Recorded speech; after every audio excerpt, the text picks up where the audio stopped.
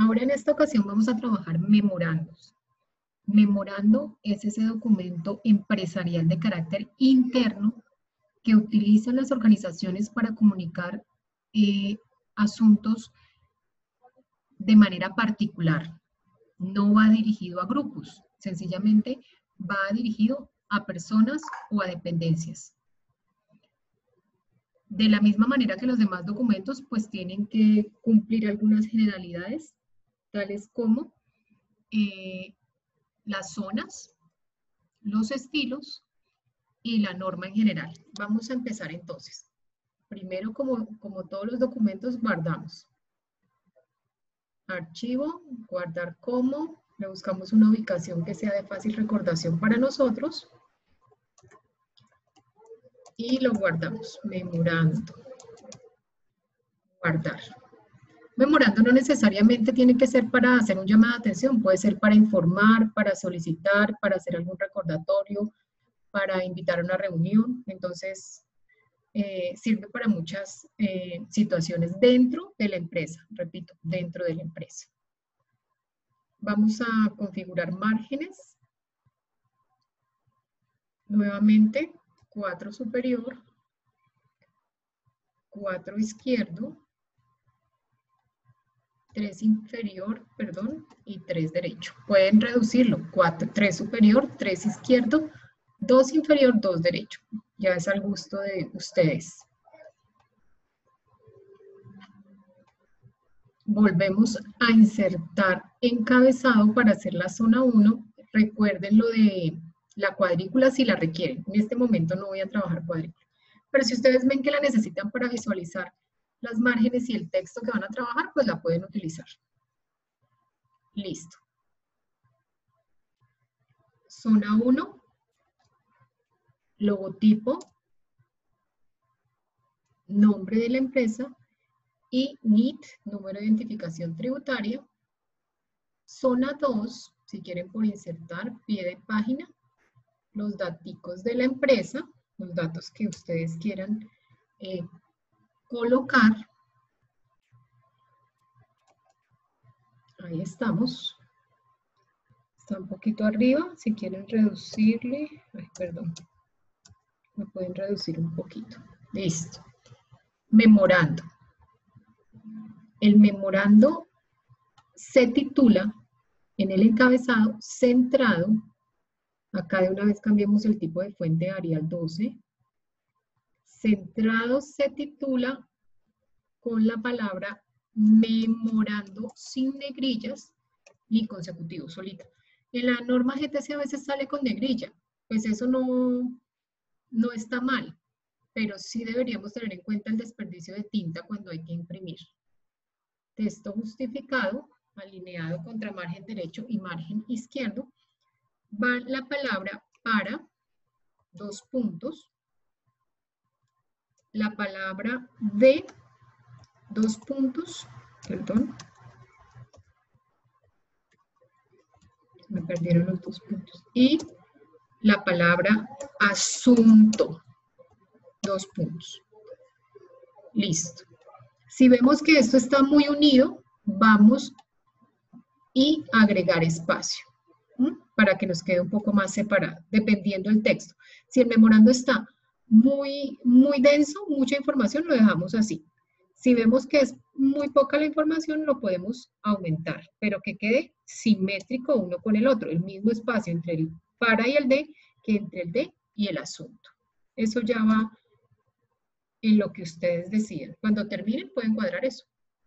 Importante. Acá podemos utilizar un un tab pequeñito para que lo que voy a escribir al frente del para, al frente del de y al frente del asunto quede simétrico.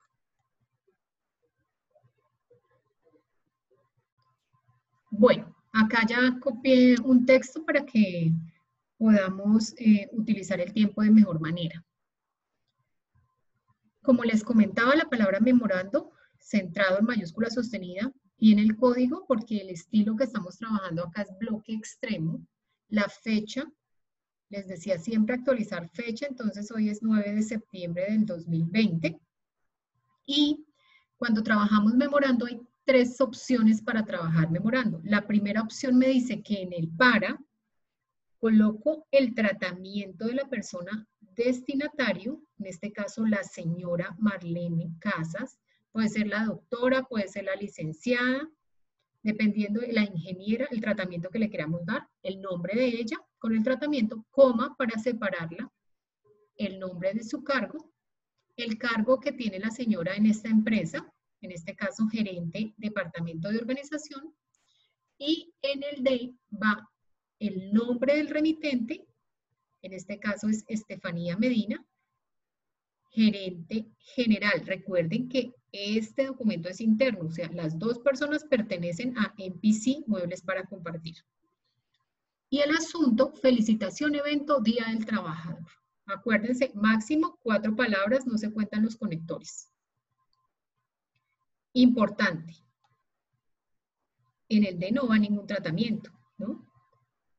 Ya configuramos márgenes, el texto está escrito y en el atentamente, teniendo en cuenta que es estilo bloque extremo, solo, solo únicamente para la rúbrica, porque el nombre y el cargo de la persona ya está en el D, no se repite, solo la rúbrica. Esta es la primera opción en memorando. ¿Tiene líneas especiales? Sí, tiene líneas especiales. Copia se envía copia al departamento de personal y el transcriptor, en este caso transcriptora, María Teresa Luna. Entonces, pilas con esta primera opción. Los datos que ya están en el D no se van a repetir acá. Acá solo la rúbrica, o sea que si vamos a imprimir nos va a aparecer la hojita así solita y la persona firma, a no ser que se tenga la firma electrónica, que, que es la que se utiliza ahorita, por ejemplo, en estas situaciones de pandemia, entonces se está utilizando mucho la firma electrónica para legalizar eh, los documentos. Vamos a mirar la segunda opción. La segunda opción me dice que el para va exactamente igual.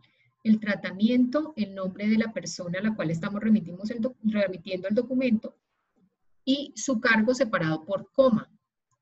Pero ya el de cambia, ya no va de nombre y cargo, sino solamente la dependencia que la emite o el cargo que la emite. Entonces puede ser de gerencia general o de gerente general. Y lo mismo el resto del documento. Aquí jugamos con el estilo bloque, ¿no? Para que ustedes pudieran evidenciar eh, el cambio y la modificación de los estilos, pero eso no tiene que, nada que ver con las opciones. O sea, los estilos son independientes a las opciones. Sencillamente, sencillamente era para que lo tuvieran en cuenta. Como en el D falta el nombre de la persona, de la gerenta general o gerente general, lo colocamos en la parte de abajo digitado y cuando se imprime, pues se rubrica el documento. En este caso, pues ya está la rúbrica, pero en sí el documento aparecería así para imprimirlo y después firmarlo. Copia, sí, las mismas copias, línea especial copia y transcriptor. Vamos a volverle a colocar acá la rúbrica. Entonces ahí pueden visualizar que es estilo bloque. Listo. Ahora vamos a mirar la tercera opción. En, la tercera opción en memorando me dice que no coloco tratamiento ni nombre en el para, sencillamente va de dependencia a dependencia. Entonces va para el departamento de organización de gerencia general. Importante, hijos, acaba alineado los datos del para, los del D y los del asunto. Y en el D va el nombre de la persona digitado y la rúbrica después de que hayamos firmado el documento. La rúbrica después de que hayamos firmado, a no ser que tenga firma electrónica. Este estilo es semibloque, código, fecha, datos del remitente Centro a la derecha más la sangría de 5 a 10 espacios iniciando cada párrafo. Listo. Vamos a mirar los tres documentos para que ustedes puedan visualizar las diferencias según las opciones. Acá está perfecta la vista. Bueno. Entonces, voy a colocar un avisito acá que diga. Insertar.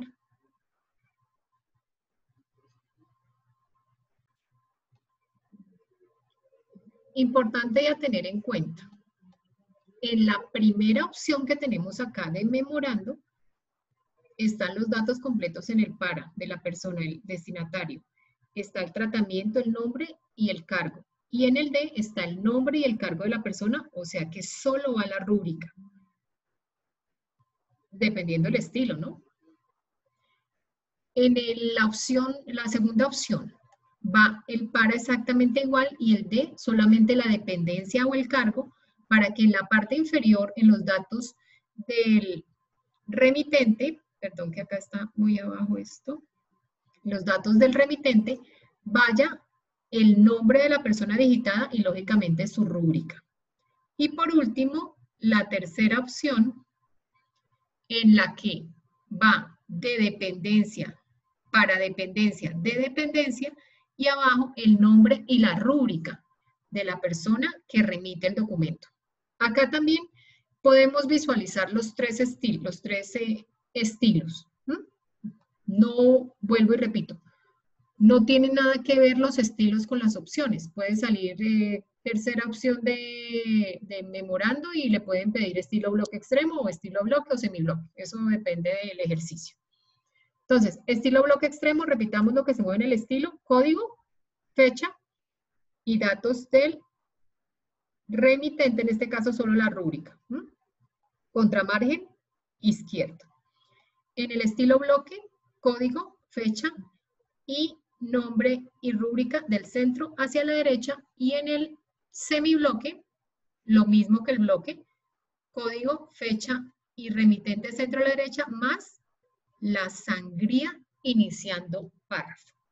Y con este ejercicio terminamos la temática de memorandos. Recuerden, primera opción de memorando, segunda opción de memorando, tercera opción de memorando, nunca se repiten datos, por favor, nunca se repiten datos. Si ya está escrito en el D, no se vuelve a repetir acá. En, la próxima, en el próximo video trabajaremos eh, circular interna.